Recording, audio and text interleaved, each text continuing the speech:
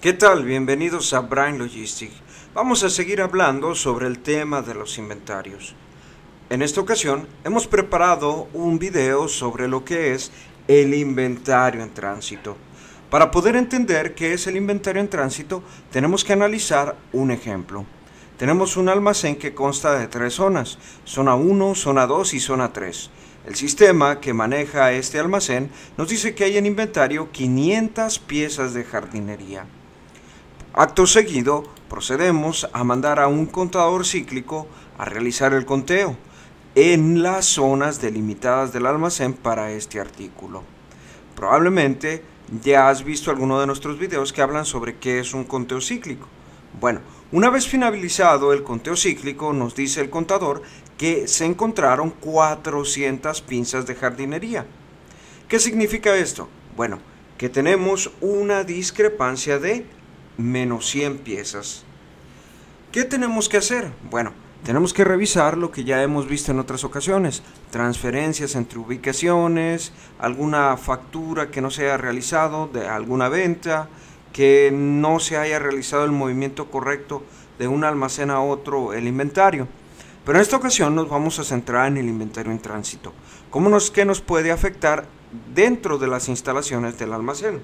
Primero, entendamos que el inventario en tránsito, para que sea inventario en tránsito, debe responder a la siguiente pregunta. El movimiento por sistema se realizó una vez que se ha contabilizado en el área de embarques o recibo.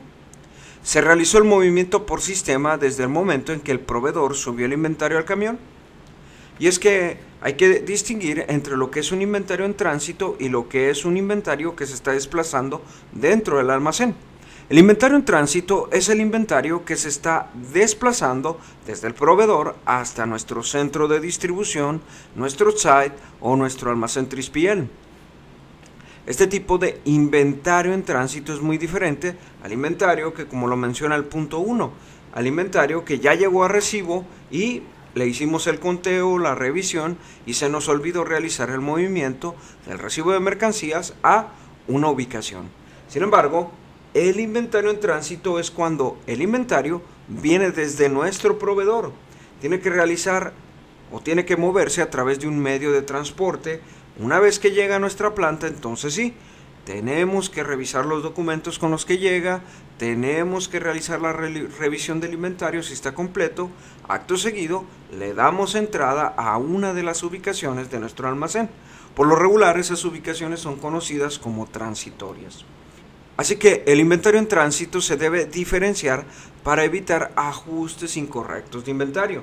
Por eso es que el punto 2 que te mencioné dice que si se realizó el movimiento por sistema desde el momento en que el proveedor subió el inventario al camión. Si la respuesta es sí, esto es incorrecto. El inventario se tiene que mover a nuestras instalaciones hasta que llega al área de recibo.